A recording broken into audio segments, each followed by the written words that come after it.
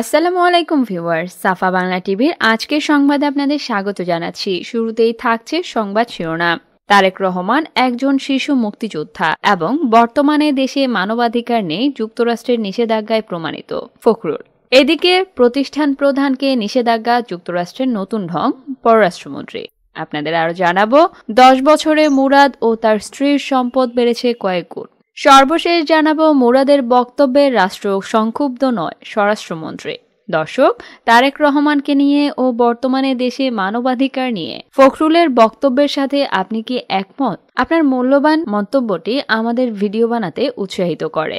বিস্তারিত খবর জানতে ভিডিওটি শেষ পর্যন্ত দেখুন। দেশ বিদেশের সকল সংবাদ সবার আগে পেতে চ্যানেলটি সাবস্ক্রাইব করে রাখুন। চলে যাচ্ছি বিস্তারিত সংবাদে। বিএনপির ভারপ্রাপ্ত চেয়ারম্যান তারেক রহমানকে শিশু মুক্তিযোদ্ধা উল্লেখ করে বিএনপি মহাসচিব মির্জা ফখরুল ইসলাম আলমগীর বলেছেন, দেশনেত্রী বেগম খালেদা জিয়া একজন মুক্তিযোদ্ধা। তিনি পাকিস্তানি বাহিনীর হাতে বন্দী ছিলেন। আমাদের ভারপ্রাপ্ত চেয়ারম্যান তারেক রহমান আরেকজন মুক্তিযোদ্ধা। তিনি শিশু মুক্তিযোদ্ধা। তিনিও তখন মায়ের সাথে কারাগারে ছিলেন। বিএনপি মহাসচিব মির্জা ফখরুল ইসলাম আলমগীর বলেছেন, আমরা এতদিন ধরে বলে আসছিলাম মানবাধিকার হরণ করা হচ্ছে। আমরা বলেছি এই সরকার রাষ্ট্রযন্ত্রকে ব্যবহার করছে, পুলিশকে ব্যবহার করছে, প্রশাসনকে ব্যবহার করছে। ব্যবহার করে মানুষকে নির্মমভাবে হত্যা করছে। এটা এখন প্রমাণিত হয়ে গেছে। বিএনপি মহাসচিব আরও বলেন এদেশের জনগণ বিশ্বাস করে বিএনপি যে রাজনীতি, শহীদ প্রেসিডেন্ট জিয়াউর রহমানের যে আদর্শ, দেশনেত্রী বেগম খালেদা জিয়া যে পতাকা তুলে ধরেছেন তা বাংলাদেশের জনগণের রাজনীতি। মানুষ বিএনপিকে ভালোবাসে। একটিমাত্র কারণে বিএনপি এদেশের দেশের স্বাধীনতার সার্বভৌমত্বের কথা বলেন। বিএনপি দেশের গণতন্ত্রের কথা বলেন। তিনি বলেন, তারেক রহমানের নেতৃত্বে দল সুসংগঠিত হচ্ছে। সুতরাং ওই চিন্তা করে আর কোনো লাভ নাই। প্রতিদিন, প্রতি মুহূর্তে শত শত জিয়াউর রহমান তৈরি হচ্ছে। আজ শনিবার সকালে ঢাকা রিপোর্টার্স ইউনিটিতে বেগম খালেদা জিয়ার মুক্তি ও বিদেশে সুচিকিৎসার দাবিতে ও স্বাধীনতার যুদ্ধে জিয়াউর রহমানের ভূমিকার শীর্ষক আলোচনা সভায় তিনি এসব কথা বলেন। মির্জা ফখরুল বলেন, আজকে একটি খবর বেরিয়েছে। র্যাব নিয়ে যারা মানবাধিকার লঙ্ঘন করেছে, তাদের ভ্রমণে নিষেধাজ্ঞা দিয়েছে যুক্তরাষ্ট্র। এটি হওয়ার কথা, এটি তাদের পরিণতি। তিনি বলেন, সরকারি কর্মকর্তা কর্মচারীদের মনে রাখা উচিত, তারা প্রজাতন্ত্রের কর্মচারী কর্মকর্তা। তারা কোনো ব্যক্তি বা দলের কর্মচারী কর্মকর্তা নন। সুতরাং সংবিধানে আপনাদের যে দায়িত্ব দেওয়া আছে, তার বাইরে গিয়ে কোনো দায়িত্ব পালন করা বা আপনাদের উচিত নয়। একদিন না একদিন সেই পরিণতি আপনাদের বহন করতে হবে। তিনি আরও বলেন, আমরা জানি কারা লুট করে হাজার হাজার কোটি টাকা দেশের বাইরে পাচার করে দিচ্ছে। কারা বেগম পাড়ায় বাড়ি তৈরি করছে। মালয়েশিয়ায় সেকেন্ড হোম তৈরি করেছে। এটা আমরা সবাই জানি। দেশের সবাই জানে। পরিণতি এটাই। দেখবেন সেই সম্পদও আপনারা ভোগ করতে পারছেন না। আজকে বলা হয়েছে যে সম্পদ সব বাজেয়াপ্ত করা হবে। কি লজ্জা। আমাদের পুলিশ প্রধান, আমাদের র্যাব প্রধানকে যুক্তরাষ্ট্রের মতো একটা দেশ নিষেধাজ্ঞা জারি করেছে। যাচ্ছি পরের সংবাদে। মানবাধিকার লঙ্ঘনের অভিযোগে র্যাবের সাবেক ও বর্তমান সাত কর্মকর্তার উপর নিষেধাজ্ঞা দিয়েছে যুক্তরাষ্ট্র।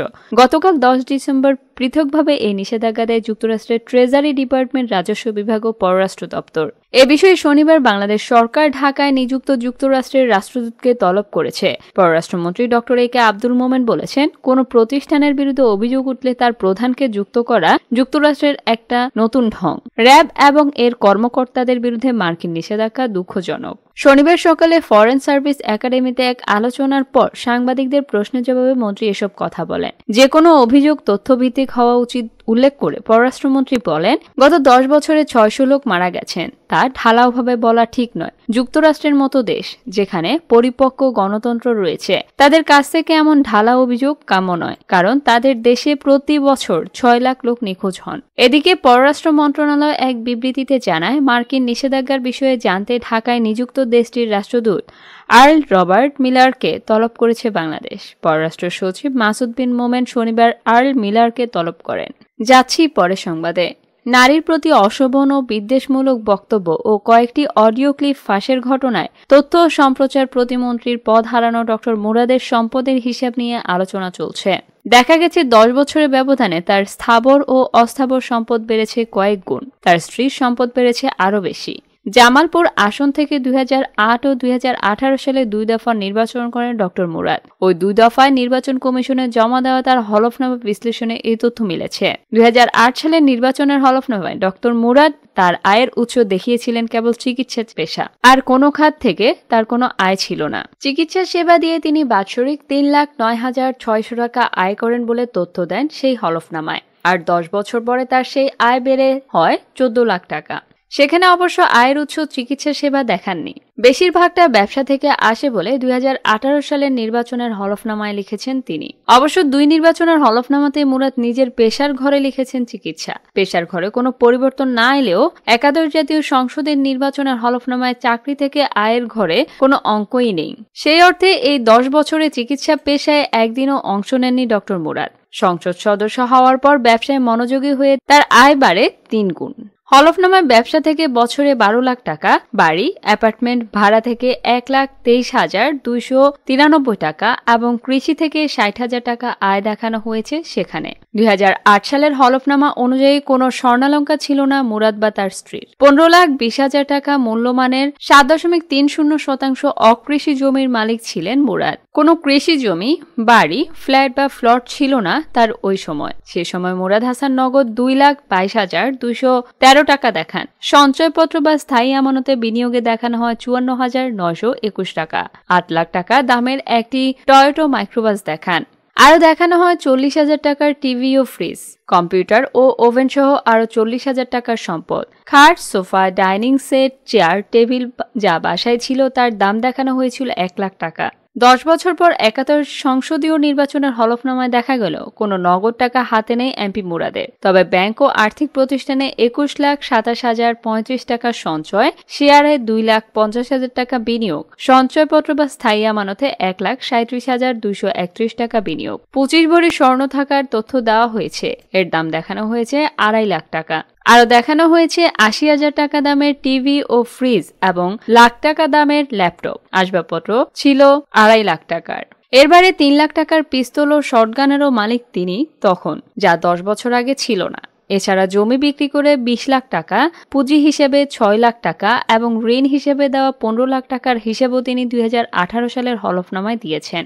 প্রথমবার এমপি হওয়ার সময় কোনো কৃষি জমি, বাড়ি, ফ্ল্যাট বা ফ্লট না থাকলেও দুই হাজার আঠারো সালের হলফনামায় মুরাদ নিজের নামে সরিষাবাড়ির দৌলতপুরে দশ বিঘা কৃষি জমি এবং দুই কাঠা ও এক দশমিক দুই বিঘা অকৃষি জমি দেখিয়েছেন। এছাড়া ঢাকার পূর্বাঞ্চলে পাঁচ কাঠা জমি থাকার তথ্যও দিয়েছেন, যার দাম পঁয়ত্রিশ লাখ সাতাশ হাজার নশো পঞ্চাশ টাকা। এই দশ বছরে ডক্টর মুরাদের চেয়ে তার স্ত্রী ডক্টর জাহানারা এহসানের সম্পদের পরিমাণ বেশি বেড়েছে।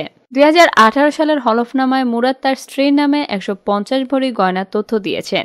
এবার উৎস হিসেবে দেখিয়েছেন পৈতৃক ও বিয়ে সূত্রে। দুই সালে জাহানারা এহসানের কোনো সঞ্চয় বা বিনিয়োগ ছিল না। দুই হাজার আঠারো সালে হলফনামার ওই ঘরে চল্লিশ লাখ টাকার সঞ্চয়পত্র তথ্য। তার স্ত্রীর নামে পুরনো পল্টনে ছয়তলা একটি বাড়ি রয়েছে। বেলি হাউসে নওশান হাইটস কলোনি একটি ফ্ল্যাটও হয়েছে তার। এছাড়া মোরাদের উপর নির্ভরশীলদের একজন শান্তিনগরের কনকোর টুইন টাওয়ারে একটি ফ্ল্যাটের মালিক হয়েছেন। এ সবগুলোই দান থেকে পাওয়া বলে মোরাদের ভাষ্য। যাচ্ছি পরের সংবাদে। সদ্য বিদায়ী তথ্য ও সম্প্রচার প্রতিমন্ত্রী ডক্টর মুরাদ হাসানের বক্তব্যে রাষ্ট্র সংক্ষুব্ধ নয় বলে জানিয়েছেন স্বরাষ্ট্রমন্ত্রী আসাদুজ্জামান খান কামাল। আজ শনিবার দুপুর দেড়টার দিকে জাতীয় প্রেস ক্লাবে অনুষ্ঠান শেষে এক প্রশ্নের জবাবে তিনি এমন কথা বলেন। সাবেক প্রতিমন্ত্রী মুরাদের বক্তব্যের বিরুদ্ধে রাষ্ট্র আইসিটি আইনে মামলা করতে পারত কিনা এমন প্রশ্নের জবাবে মন্ত্রী বলেন, কেউ সংক্ষুব্ধ হলে তার অধিকার রয়েছে, সে মামলা করবে।